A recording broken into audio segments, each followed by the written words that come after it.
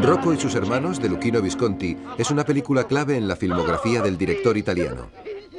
El film narra el choque entre una familia de emigrantes del sur de Italia y el Milán industrial del milagro económico, sus duras condiciones de vida y el enfrentamiento que se establece entre Rocco y sus hermanos en la nueva sociedad industrializada.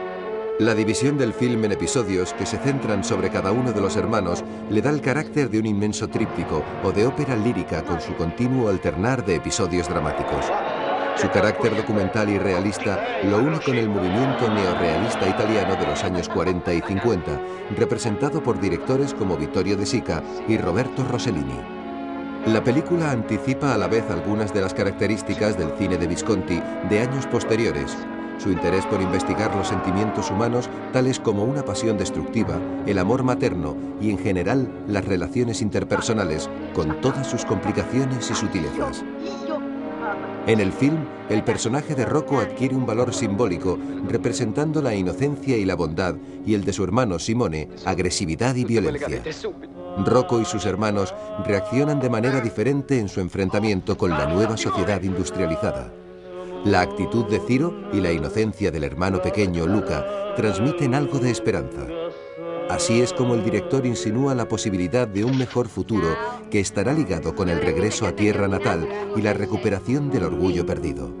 En Rocco y sus hermanos, Visconti contrasta de forma dramática los barrios marginales y pobres y las zonas residenciales ricas de Milán. Habla de la inmigración interior, de zonas humildes y subdesarrolladas, las diferencias entre el campo y la ciudad. El director italiano, pese a su origen aristocrático, fue un destacado militante izquierdista. Participó en el movimiento de resistencia antifascista de 1943 a 1944 y en varias campañas comunistas durante la posguerra.